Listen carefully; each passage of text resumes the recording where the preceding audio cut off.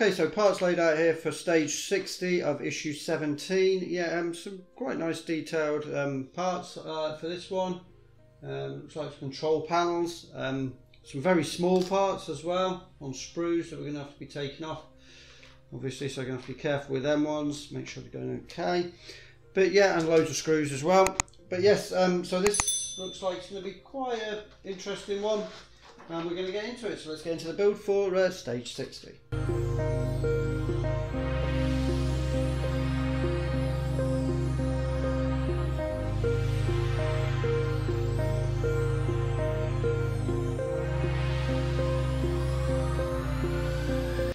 Okay, so first thing we're doing is bringing over this part because we're building the peripheral unit, it's calling it. Um, okay, so this part here is going to be pushed into this part here. Um, so it looks like the smooth parts at the top and this can only really go in one way. So just pushing that into there, just, just push fit. Okay, so that's what that kind of looks like. And then taking small part here and pushing that in here. Definitely doesn't want to go flush on my one. And I don't want to break it. And quite a lot of force on that to try and get that flush.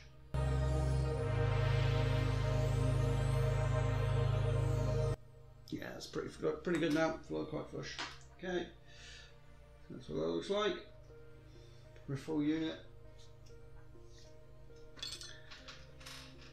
Okay, then we're bringing over the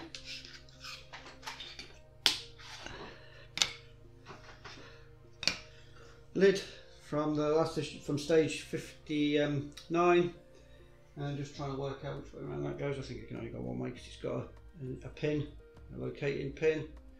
Put that in and then attaching that with two AP screws.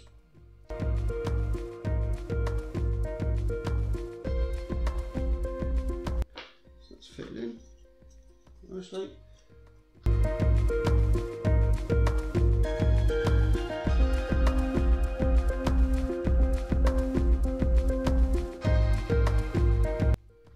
then we're bringing over the box from the last one, That's last issue. And yeah, with the multiple holes in that way. Multiple holes, I don't know if you can get it the right way, wrong way around think you can.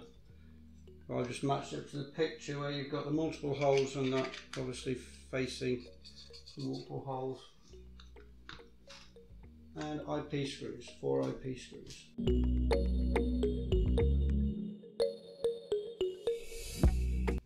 Okay, so that's now fitted in with IP screws. like that. Okay, now bringing over fascia and also the other box from the last issue. So yeah, bringing this over and I'm going to identify the locating pin. It's going to go in there and then it is just a case of lining it up and three GP screws. I'm going to put the top one in first and then kind of go for the bottom one. I'm going to put them in fairly loose I think, I'm put them in particularly tough. I'm glad they've gone for silver screws on this. Because that was a bit of a bugbear of mine, those big ugly black screws that they gave us for the other ones. So I'm quite glad they've gone for silver on these ones. Okay, so that's a little bit loose and then this one in, it can only kind of go one way really. It hasn't got a locating pin but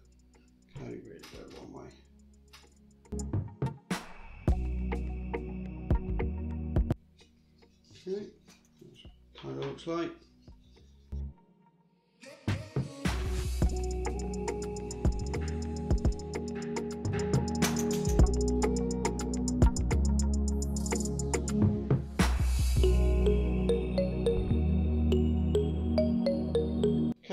Metal supporting brackets. Okay, we're going to be fitting those in KP, KP, KP screws to the side. That's why I've left it fairly, not loose, but you know, it can move around a bit. So because these KP screws are going to go in uh, on the sides.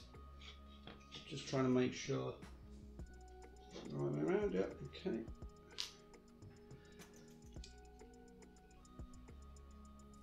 And once again, I'm going to be leaving these loose and then I'll go around and tighten them all up at the end.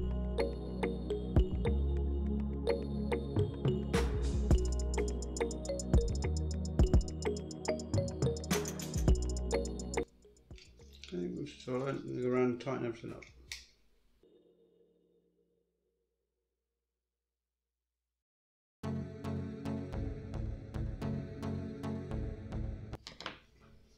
Okay, that's uh, that fitted on. Those uh, supporting metal supporting brackets, and obviously the front ones in.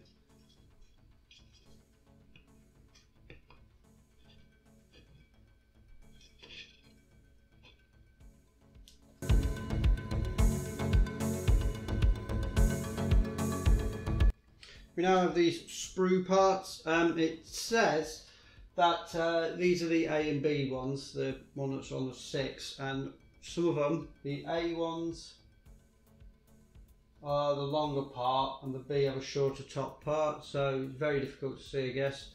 But these are the longer ones. Four, these are the shorter ones. They're not marked A and B, which would be really handy, wouldn't it? They're marked, say, with one, two, three, four so they've all got one, two, three, four written on. It would be handy if it had A and B, wouldn't it? Or whatever. But uh, it hasn't. It just you just got to identify them kind of the picture. So you got longer ones and you got short ones, and then you've got these ones here as well, which are the switches. Uh, pretty much the same. I'm going to take off the longer ones first. Sprue cuts again.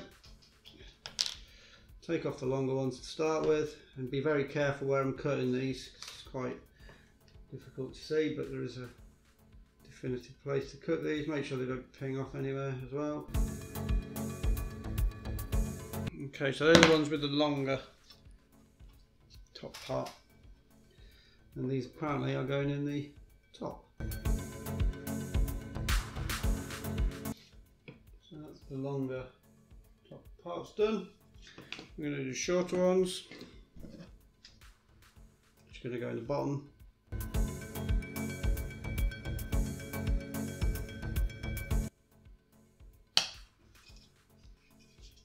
Okay, and the shorter ones. You've got the long pins and the short pins. Short pins go in the bottom one. Okay. Now it's just taking off these switches. I'm going to do three at a time. Don't think there's any difference in the switches.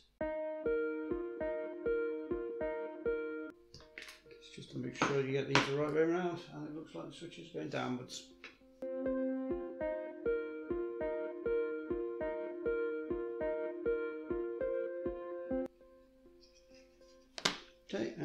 Switches are now in as well.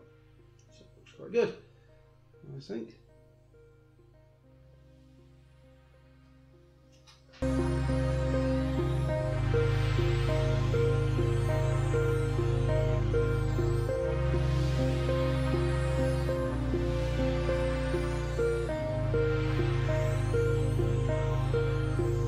Okay, so I've written over this part, I can't remember which issue this was, or stage this was from with 58 maybe.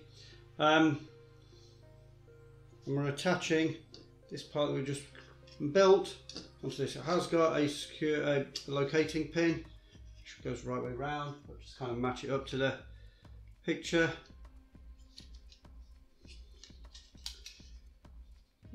Once it's done, then you are attaching it with KP screws, two KP screws, four KP screws, sorry.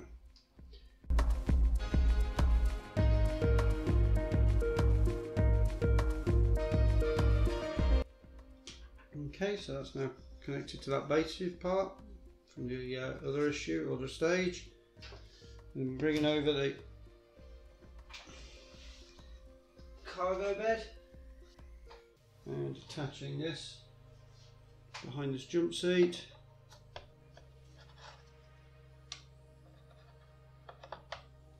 And attaching that with three AP screws. I don't seem to have enough AP screws.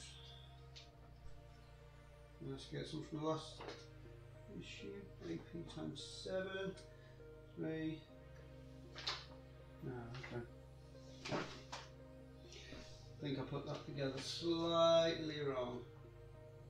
IP, not AP. Okay, so I need to take these ones out. Not that make any difference now, but take these ones out because these ones are meant to be IP screws, not AP screws. Put AP screws into here.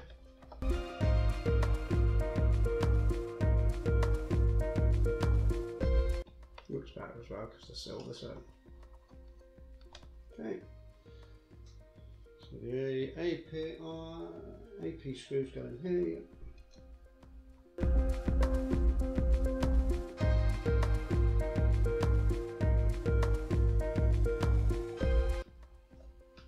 Okay. And that's what that looks like. It's fitted to this cargo area.